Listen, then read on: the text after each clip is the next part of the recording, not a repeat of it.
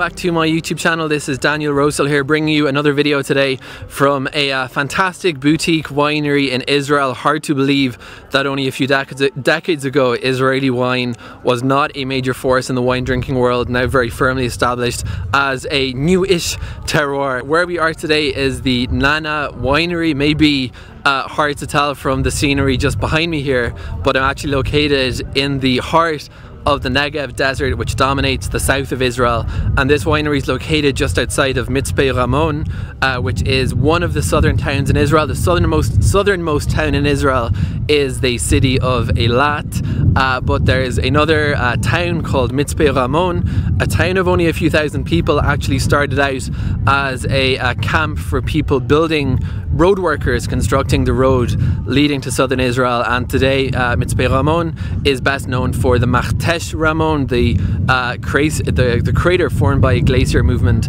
that's in the area. But this particular winery, the Nana Winery, is located just off Road 171. For those who've been really paying attention to what I've been uploading on this YouTube channel, uh, in the summer of last year I visited Kvish Eser Road 10, which is the Israel-Egypt border road, and the road leading down to that from Mitzpe Ramon, which is called, which is Road 171, is probably in all my expeditions in Israel, the far reaches of the north of the country, the south, probably the most remote landscape I've seen. You don't see power plants, you don't see people. There are stretches of kilometers where you don't see not, you don't see anything, leading all the way down to uh, the intersection with Kvish Eser, which is the Israel-Egypt border road.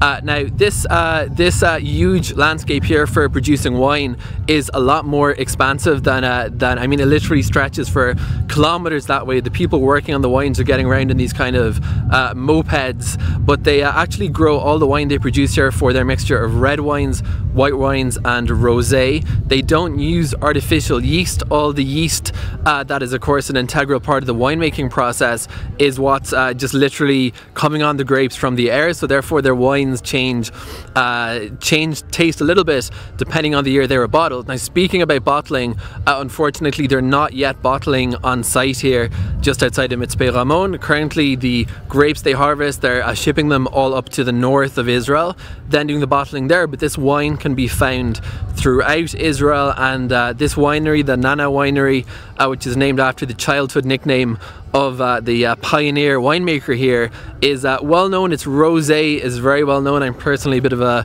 rosé fan myself, uh, so it might be a bias, but certainly they make some very good rosé as well as the other uh, the other types of uh, of wine. The water supply here is coming from Mitzpe Ramon, and as I've said, they've been in the winemaking business since 2007, and they're now selling both throughout Israel and directly to consumers also on their website. The cost of the wine tasting, like the wine tasting I did at Katlav a few days ago, is 90 shekels. That approximates to about 20 uh, US dollars at the time I'm recording this video, and that'll get you uh, three types of wine. You can of course try a red wine or a white wine and a rosé, or you can uh, focus on uh, the the type of wine that you're most into. So you can have three different types of red wine if that suits your fancy more. They do have uh, cheese uh, plates for sale as any self-respecting uh, wine tasting tour does and uh, if you're just located about uh, 10 minutes drive outside of Mitzpe Ramon so if you are visiting the crater or just visiting Mitzpe Ramon which is definitely worth a visit in its own right